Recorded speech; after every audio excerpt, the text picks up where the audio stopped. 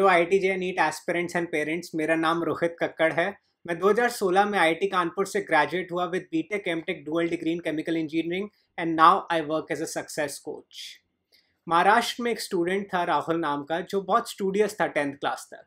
मतलब he was like an ideal student कि सारा काम मुझे टाइम पे करना है, पूरे अच्छे से प्रिपेयर करके एग्ज़ाम्स देने हैं बोर्ड्स में बहुत अच्छे मार्क्स लाने हैं, दोस्तों से आगे रहना है टीचर्स का फेवरेट रहना है। इस टाइप का वो स्टूडेंट था राहुल। सो so, टेंथ तक बहुत अच्छे उसकी परफॉर्मेंस थी नाइन्टी प्लस उसके बोर्ड्स में मार्क्स आए और फिर वो अब इंदौर आ गया अपनी आई टी प्रिपरेशन स्टार्ट करने एलेवेंथ क्लास में छः सात महीने होने के बाद प्रिपरेशन जर्नी में उसने महसूस किया कि जिस एफिशिएंसी से वो सेल्फ स्टडी कर सकता है उस एफिशिएंसी से वो कर नहीं पा रहा है और जितने उसके टेस्ट में मार्क्स आने चाहिए ताकि जेई मेन्स एंड एडवांस में उसकी अच्छी रैंक आई उस हिसाब से उसका रिज़ल्ट नहीं आ रहा है।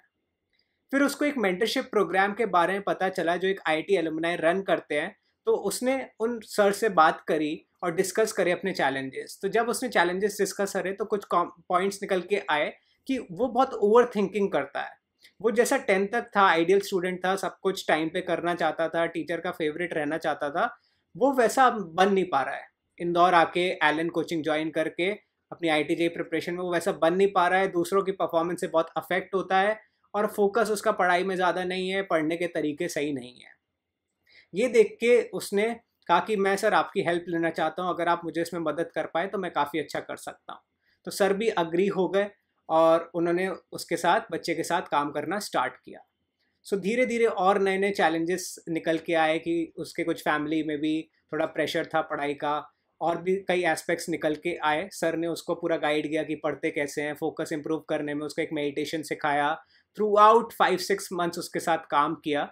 तो उससे पहले उसकी परफॉर्मेंस ऐसी थी कि उसके अराउंड हंड्रेड मार्क्स आते थे अपने एलन के मॉक एग्ज़ाम में जेई मेंस और एडवांस में। अब उसके 150 टू 160 मार्क्स आते हैं। उसके जो भी नॉन प्रोडक्टिव थॉट्स थे उस टाइम सब कुछ कम हो चुका है। बहुत काम महसूस करता है, बहुत पीसफुल महसूस करता है। अब दोस्तों की परफॉर्मेंस से भी उसको ज़्यादा इम्पैक्ट नहीं हो रहा है और अपने इम्प्रूवमेंट को लेके बहुत ज़्यादा खुश है। तो बेसिकली उस स्टूडेंट ने माइंडलैरिटी की सक्सेस कोचिंग प्रोग्राम को ज्वाइन किया और फोर फाइव मंथ्स में लगभग सिक्सटी परसेंट इम्प्रूवमेंट आया उसके मॉक एग्ज़ाम्स कोर्स में। उसकी ओवर थिंकिंग जो प्रॉब्लम थी वो कम हुई। उसके एक दो दोस्त भी बने जो उसकी अब काफ़ी हेल्प करते हैं। क्लास में भी क्वेश्चन अच्छे से पूछता है आंसर करता है टीचरों की भी नज़रों में आ रहा है और अब उसके चांसेस बहुत स्ट्रांग है आईआईटी में जाने के।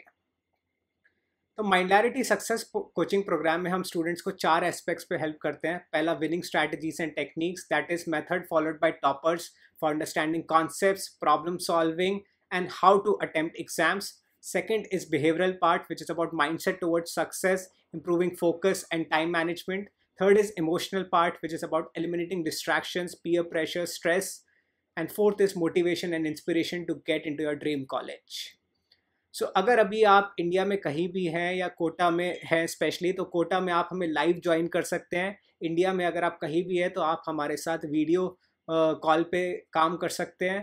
तो इस प्रोग्राम का स्ट्रक्चर ऐसा है कि अगर आप इलेवेंथ में हैं तो पूरा दो साल का गाइडेंस होता है जिसमें फ़र्स्ट सिक्स मंथ्स हफ़्ते में एक सेशन होता है। And then month a month follow up होता है जब तक आपका फाइनल जेई एडवांस पेपर ना हो जाए। और अगर आप ट्वेल्थ या थर्टींथ में हैं तो आपके लिए वो एक साल का गाइडेंस रहता है जिसमें अगेन फ़र्स्ट सिक्स मंथ्स हफ़्ते में एक सेशन रहता है। And then month a month रहता है, जब तक आपका फाइनल जे या नीट का पेपर ना हो जाए।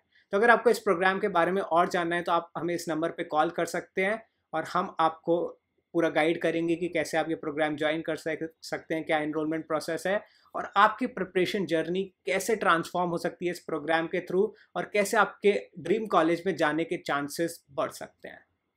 Thank you